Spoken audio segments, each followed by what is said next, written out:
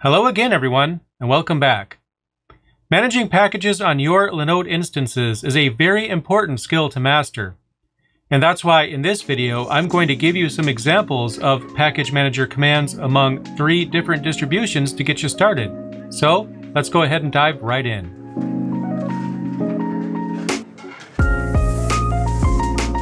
So let's get right into it.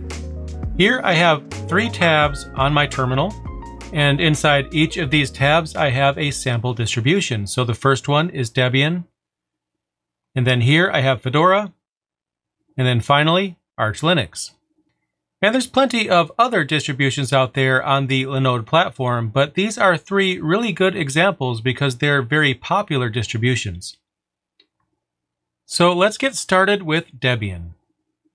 And one thing to keep in mind is that the commands that I'm about to go over for Debian are the same in Ubuntu as well, because Ubuntu is actually forked from Debian. Debian uses the apt command for package management by default, same as Ubuntu. And there are several subcommands like apt install and then the name of a package. There's also things like apt update, apt dist-upgrade, among others.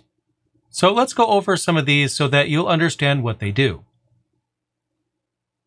So the first working example that I'm going to give you is how you install a package. And what I'm going to use as an example in each of these distributions is Apache, a very popular web server application. Of course, we have other web servers that are popular as well. Nginx, even though it's a proxy application, it's also a web server.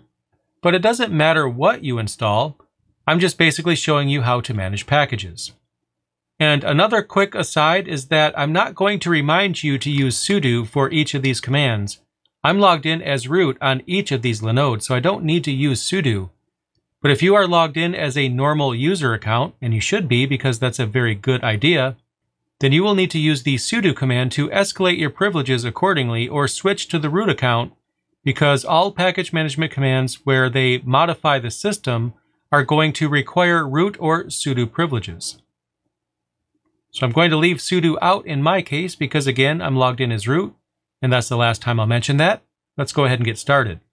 So with Debian, the first thing that we should do before we start managing packages is refresh the package repository index. And actually in most distributions, we have repositories which is basically where the packages are downloaded from. And new packages are added all the time. Perhaps there's security updates or feature updates. So what we should do before we start working with packages is just refresh the database. And on Debian, as well as Ubuntu, we can run apt update just like that. That's going to resynchronize with the repositories. So I'll press enter.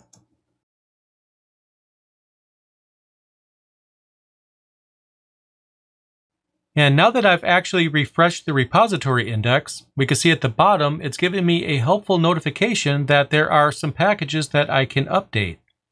I'll show you how to do that in just a moment. But let's go ahead and look at an example of installing a package. So what I'm going to do is run apt install, and then I could type the name of the package that I want to install. And in this case, I'm going to install a package named Apache 2. Now, something that you should know about Debian is that a lot of these commands are often written like this. apt-get. And there's nothing wrong with that. It's just a little bit outdated. The hyphen get is no longer required because it's implied, so you can shorten it down to simply apt. And the ability to not need to type hyphen get is actually a new feature. So only newer versions of Debian are able to do this, but basically all supported versions of Debian are already supporting the simplified version of apt, and this is the way that we should use these commands going forward, simply typing apt instead of apt-get. So I'll press enter. And what's going to happen right now is it's going to give me a list of the changes that need to be made in order to facilitate the requirements of what I'm asking for. I asked it to install the Apache 2 package, but it's installing quite a few more here. In fact, it's installing 12 packages rather than just the one that I asked for. And the reason why is because apt is smart. It knows that in order for it to install the Apache 2 package, Apache requires dependencies in order to function, so it's going to take care of all of that for me. The additional packages that are being installed are dependencies. For some reason or another, Apache requires those. Thankfully for me, I don't have to worry about that. In the past, we used to have to install each dependency one by one. It wasn't very fun. But with one command, I'm installing Apache and all the dependencies. That's pretty cool. Now what I could do is type Y and then enter to accept these changes and let it actually do what I'm asking it to do. I don't need to include the Y here because Y is capital, which means if I press enter without actually typing Y or N, it's going to assume Y. It's going to assume whichever option is capital. So I'll just press enter.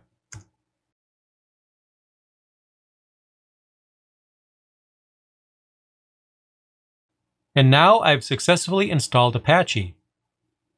If I was setting up a web server, I could actually copy files to this Linode to serve as a website.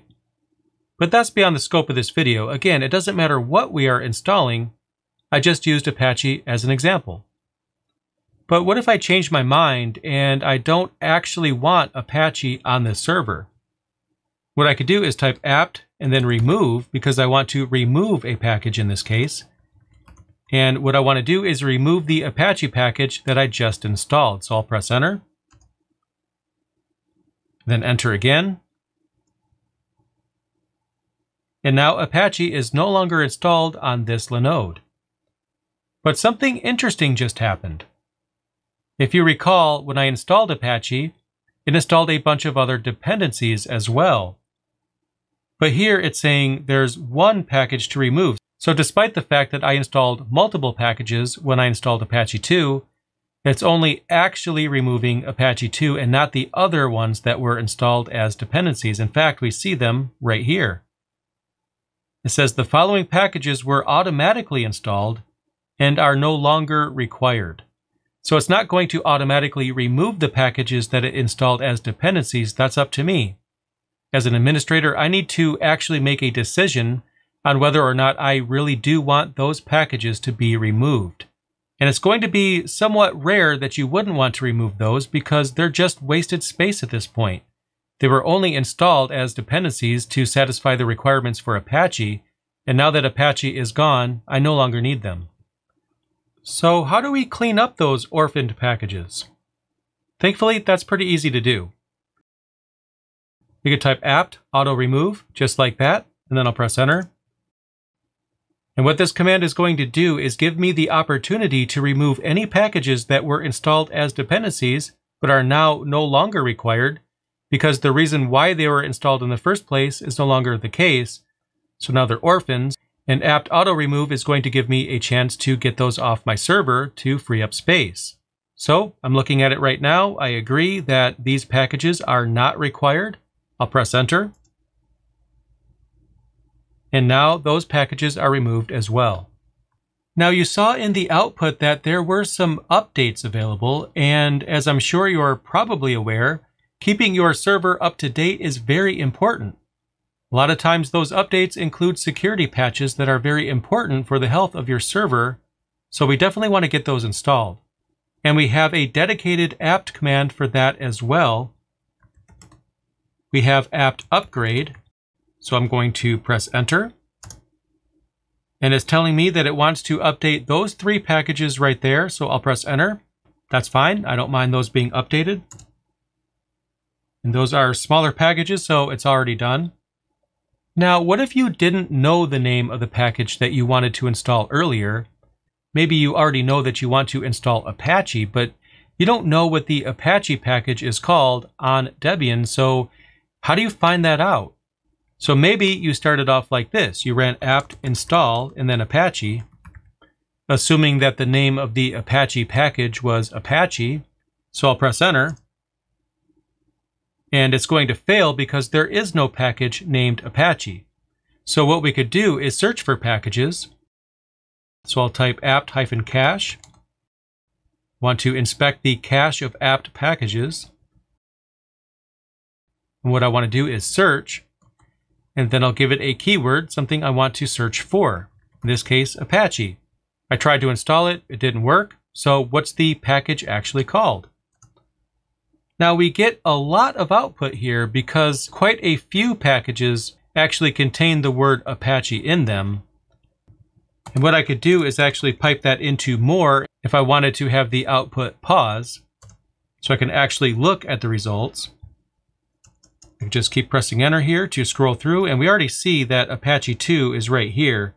So that explains why I wasn't able to install it. The package is called Apache 2, not Apache. But we already knew that because I installed that package at the beginning of the video. And the apt cache command has other variants as well that I recommend you check out in the documentation page that is linked to this video. Now let's move on to Fedora. Fedora actually uses the DNF package manager, and it looks like that. And previously, Fedora used to use Yum. CentOS also uses DNF, and earlier versions of CentOS, just like earlier versions of Fedora, used Yum. Nowadays, all current CentOS and Fedora releases all use DNF. So that's what I'm going to go over in this video. Now let's search for a package. I'll type DNF and then search. And what I want to do is search for Apache. And I can give you a quick spoiler. The package name for Apache in CentOS and Fedora is not Apache, and it's not Apache 2. So what is it then? And notice that it's actually refreshing the package repository index for me, which is pretty cool. I didn't have to do that manually like I did on Debian. But that also means the first package manager command that you use in that session is going to take a little bit longer, but that's okay.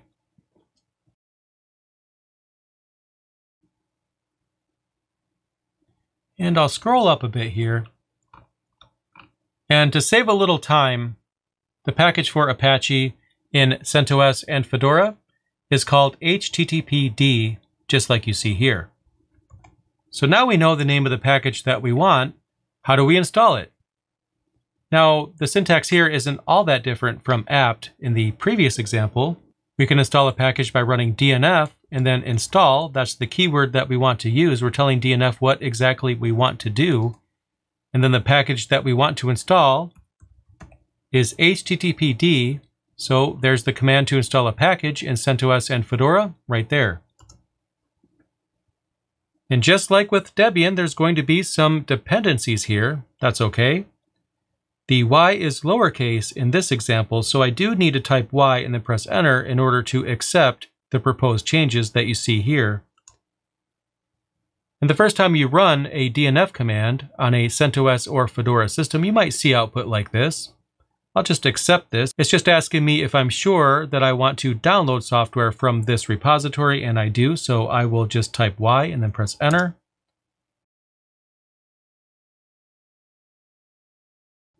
And now Apache is installed. And if I wanted to remove Apache, then what I would do is type DNF and then remove, and then the name of the package. So there's the command right there to remove a package on Fedora and CentOS. And what's really cool here is that it's going to go ahead and remove the unused dependencies as well, which is cool because that's yet another thing that we don't have to do manually. So I'll accept the changes I approve of this. And now Apache has been removed. And what if I wanted to update all the packages on my server? Well, that's pretty easy. DNF upgrade is the command that we are looking for. So that's pretty straightforward. I'll press enter.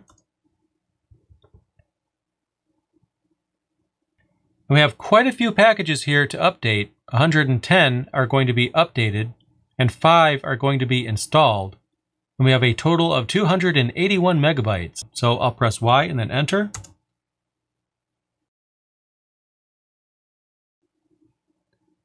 All right, there we go. All the packages on this Fedora Linode have been updated.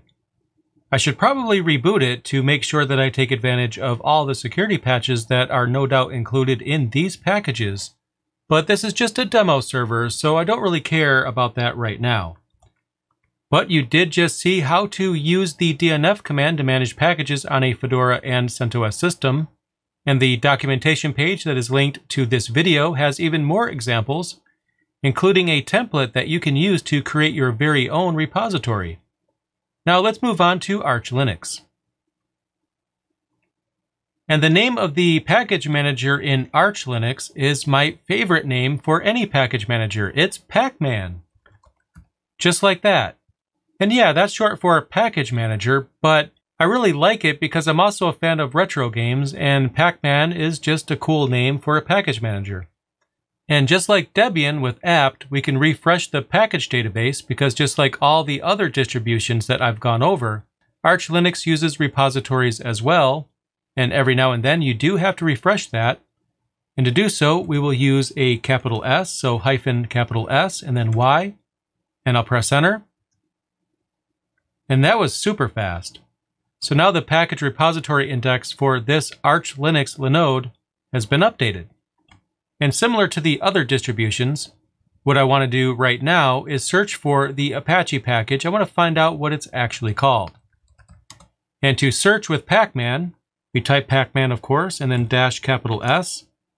And then we add a lowercase s right next to it. And then after that, we include a search term, something that we want to search for and I'll type in Apache for that. I'll scroll up a little bit. And here we have Apache. And that's actually the package name. It's simply Apache. Couldn't be easier. So now that we know the name of the package, how do we install it?